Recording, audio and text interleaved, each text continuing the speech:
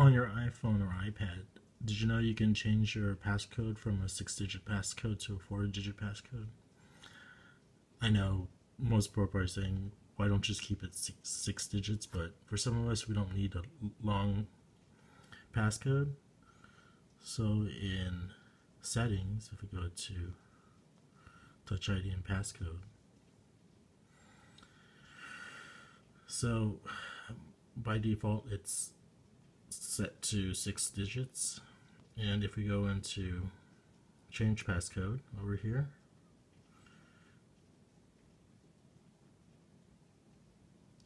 We can actually change the passcode under passcode options and choose a four four digit numeric code instead. That's it. You go one two three four. Is this anyways is how you can easily change your passcode to four digits instead. Uh, I think when you're first setting up your phone, you can also change it to four digits. You just have to do the same thing when you change. Just choose passcode options at the bottom. And you can do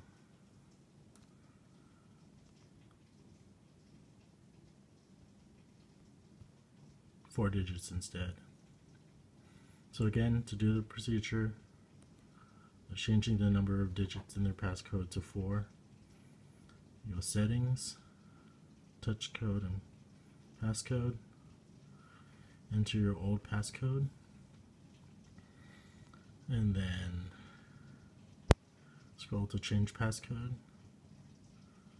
enter your old passcode, and then when you're entering your new passcode, just choose passcode options four digit numeric code. And that's it. Now you choose your four digit passcode. And there you go. This works for iPhone and iPad on iOS 13, probably for iOS 12 too. Hopefully they don't change it and remove it, so it's nice to have something simple.